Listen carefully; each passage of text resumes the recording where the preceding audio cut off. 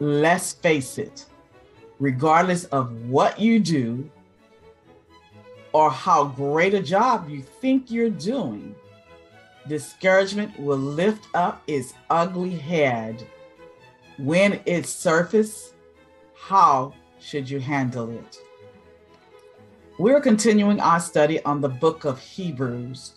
The message is directed to the early Hebrew Christians.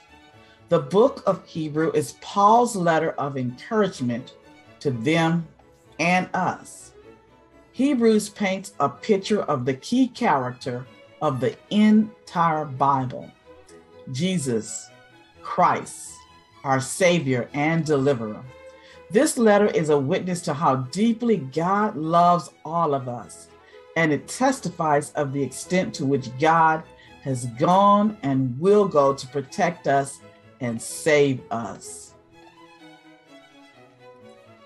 I pray that as we go through these series of lessons, we will learn to appreciate even more what God has done for us in the person of his dear Son, Jesus Christ. If you find these lessons helpful, click the like button, then click the share button and share them with your friends and family so that they can benefit as well. Also, to receive notifications when a new video is available, click the subscribe button. Father, when trouble comes, we are prone to become discouraged. We understand that you will not remove every doubt and fear that comes before us, but we humbly ask that you give us sufficient evidence to believe, hope, and maintain our trust in you.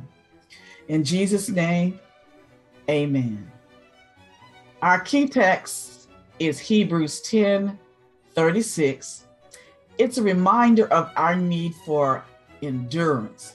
It says, For you have need of endurance, so that after you have done the will of God, you may receive the promise.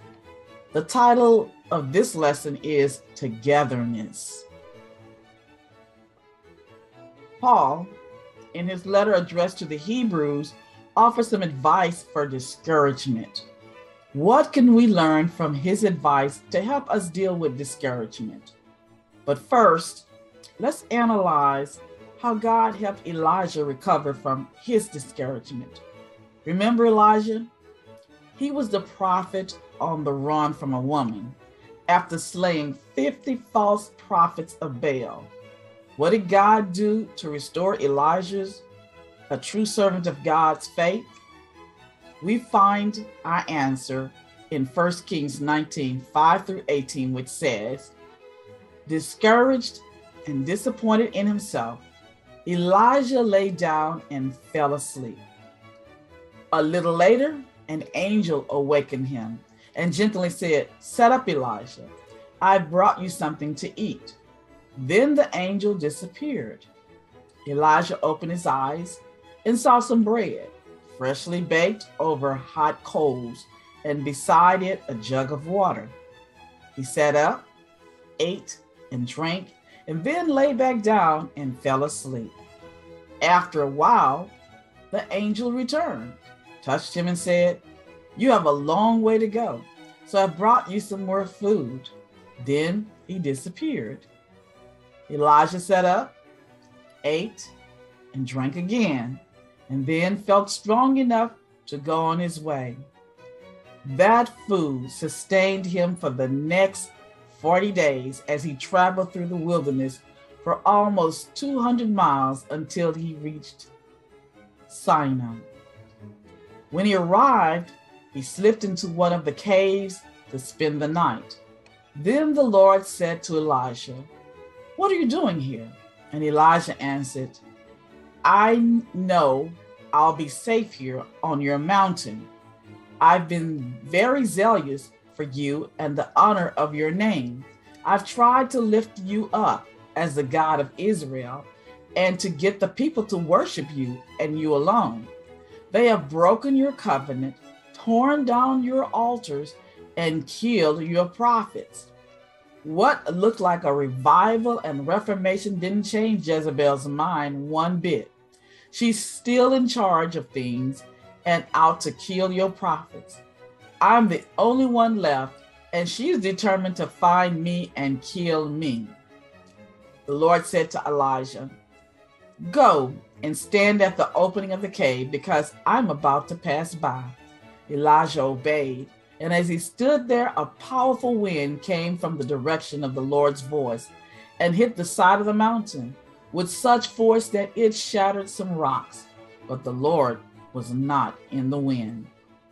After the wind came an earthquake, and the whole mountain shook, but the Lord was not in the earthquake.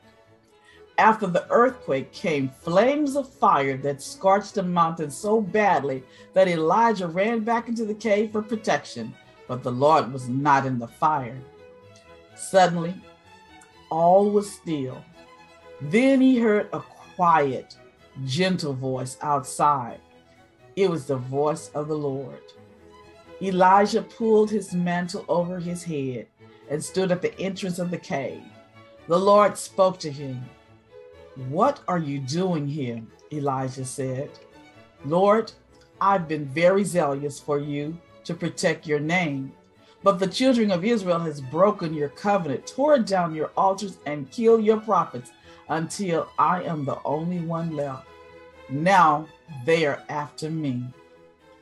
In this quiet, gentle voice, the Lord said to Elijah, I want you to go back to Israel the way you came Go north until you go to Damascus, to the capital of Syria. As you near the city, a man named Hazael will meet you. I am sending you to anoint him king of Syria.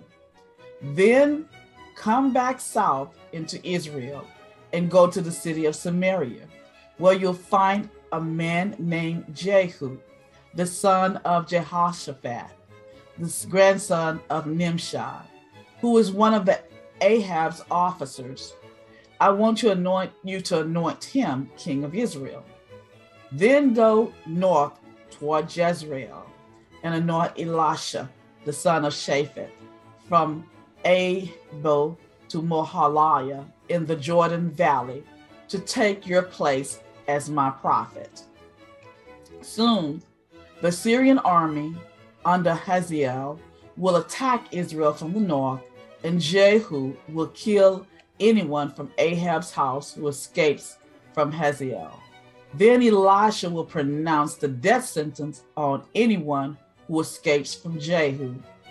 There are still 7,000 people scattered throughout Israel who have not worshiped Baal. They have refused to kneel down in front of him and have not gone up to kiss his carved images. So Elijah came down from Mount Sinai and went back the way he came. He did what the Lord had told him to do. He anointed Hazael and Jehu, and then went to look for Elisha. He found him and the family servants plowing the fields with 12 teams of oxen. Elisha was driving the 12th team. When he saw Elijah coming, he stopped plowing and went to greet him. Elijah said nothing. He just threw his mantle over Elisha's shoulders and turned and walked off. Now, what does the situation with Elijah tell me? Well, it tells me that discouragement and darkness may come. But even in our discouragement, we can take comfort in knowing that God is right there by our side. However, to hear Him, we must be silent, for He is not in the loud earthquake, not in the roaring wind, not in the blazing fire, but in the still, small voice. If we quietly listen, He will console and instruct us on what to do. Now, the story of God's dealing with Elijah after Carmel is fascinating because it shows the tender care and wisdom with which God deals with those who are under distress and who struggle to regain their faith.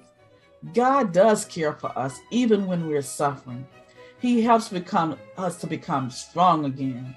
God did several things for Elijah. One, he cares for his physical needs. God gives him food and then lets him rest. Two, then he addresses his emotional needs.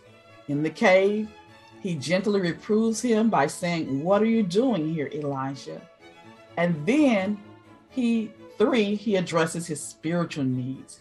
He helps him gain a deeper understanding of how he works and feels his purposes. God was not in the wind, the earthquake, or the fire, but he was in a still small voice, a gentle blowing wind, according to the New Living Version. This gentle wind shows us an important Bible truth. We may not always see or feel God's work, but we must believe that God is working in us. God always keeps his promise, even though we may not see its manifestation in some profound way.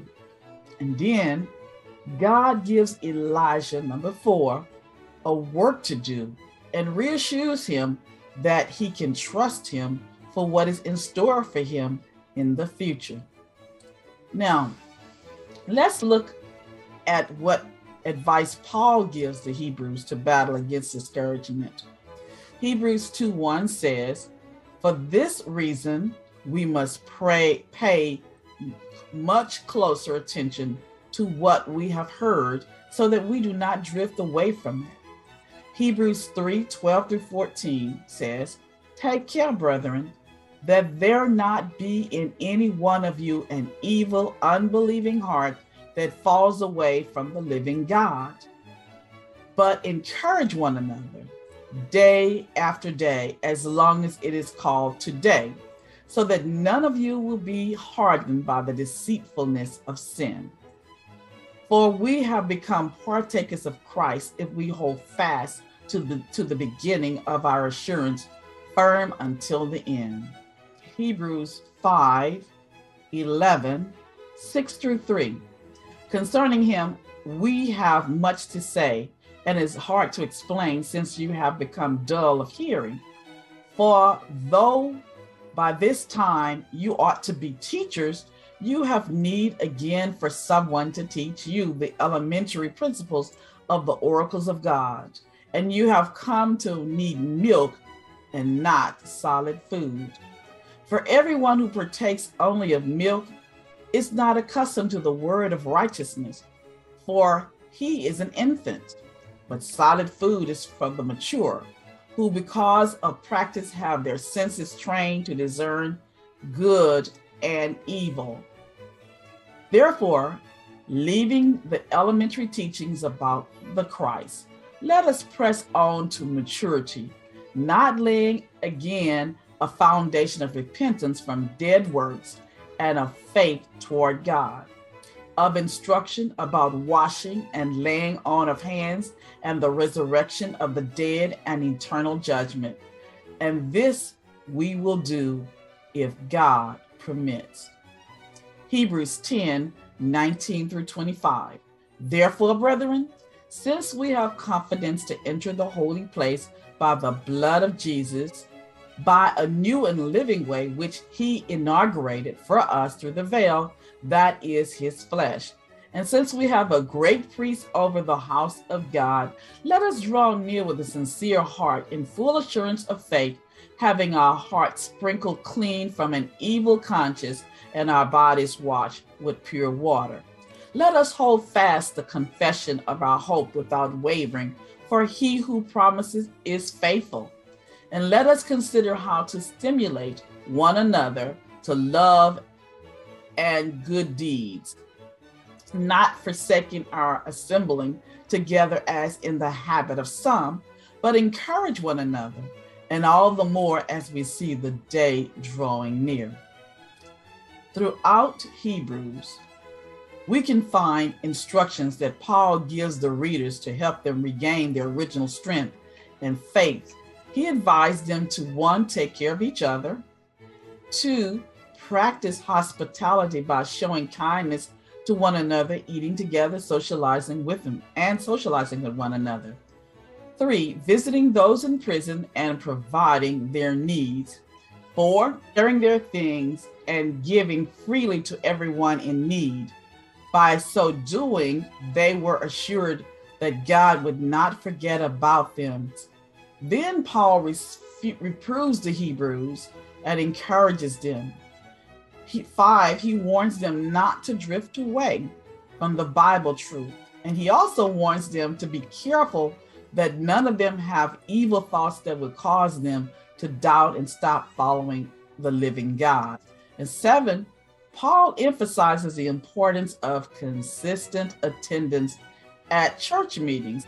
So, in summary, Paul not only suggests that they press together, that is, come together, he encourages them to encourage one another and stir up love and good works but he also lifts up Jesus and his ministry for the behalf in the heavenly sanctuary. One could say that Paul here provides a cure for discouragement that was not only beneficial to the Hebrews, but also beneficial to us as well.